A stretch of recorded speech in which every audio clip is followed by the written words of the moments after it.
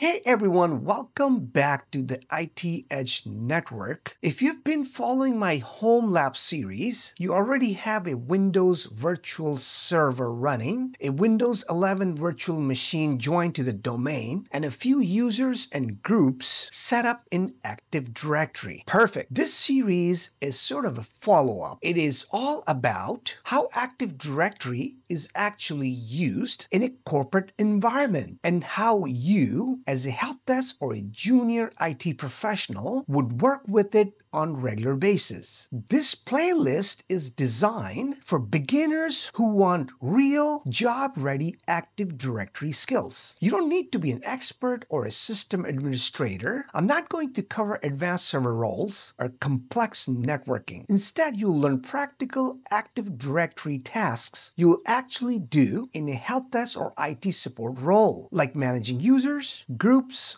folder permissions, group policy basics, and troubleshooting common issues. If you haven't watched my Home Lab setup series yet, I highly recommend that you pause and do that first. This series builds on top of that lab. Check out the link at the bottom. So why focus on Active Directory? Well, Active Directory is at the heart of nearly every corporate IT environment. Companies use it to control user accounts, computers, permissions, and access to resources like share folders. Most IT beginner roles involve help desk tasks related to Active Directory, password resets, access requests, folder permissions, and simple troubleshooting. Knowing Active Directory skill is what separates someone who's clicking through Windows from someone who's actually ready to work in IT. This is what the employers are actually looking for. They need people with hands-on experience, and this is what you're going to learn in this series. So here's what we'll cover in this series. How Active Directory is structured in real companies, including OUs, users, and groups. How to handle real help desk tickets for users. How groups tie into share folders and permissions. Basic group policy tasks that you can perform safely. And in the end, as a bonus, we'll finish the series with real interview questions and answers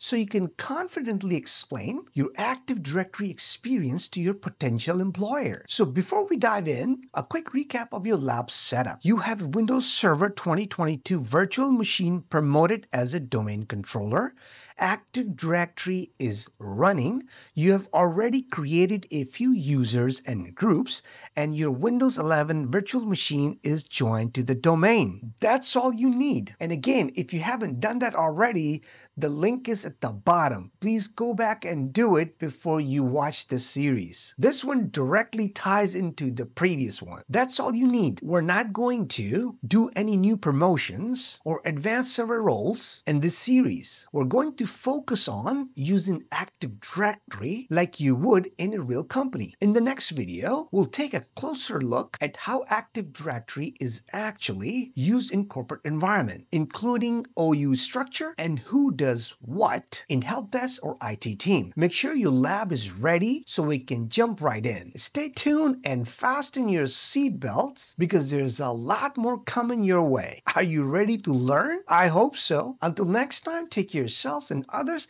and I'll see you shortly. Take care. Bye bye.